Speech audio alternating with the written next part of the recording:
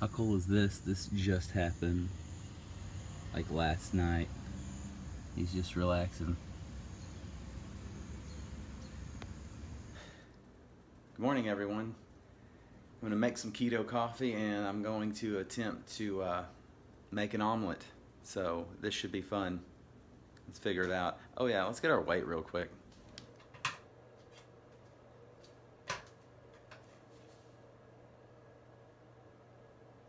One ninety-five even.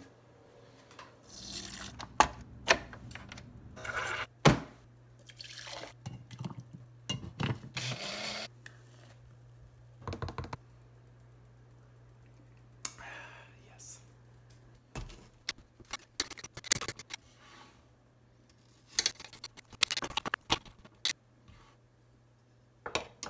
Well, that didn't go well.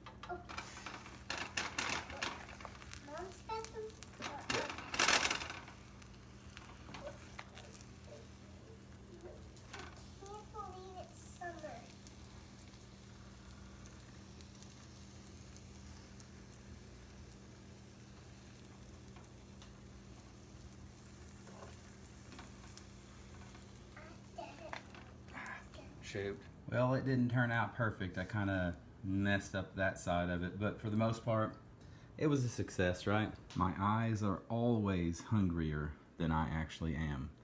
Thank God. Uh, before keto, though, I would have definitely ate all of that plus more. Um, I'm gonna save that to have for lunch, so I don't have to make anything, and I know it's gonna be keto friendly and good. But I am going to finish my keto coffee.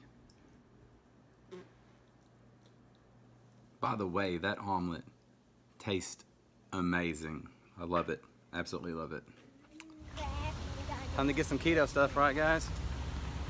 Right, Jackson? Yes. Man, this is definitely going to be delicious. So, I put some uh, meltdown keto in this cup because the can was kind of messed up.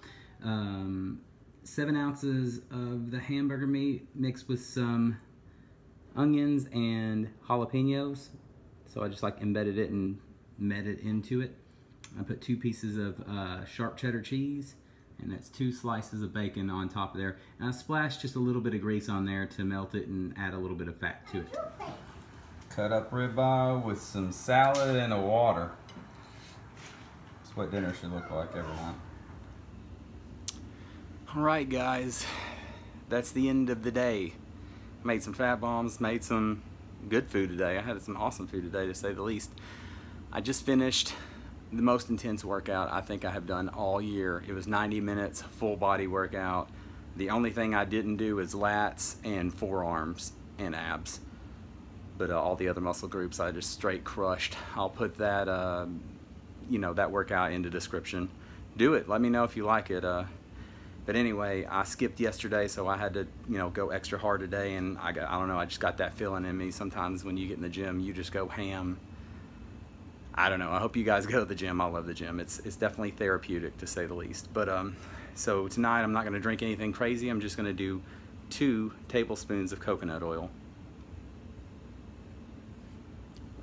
So that's my fats for the end of the day.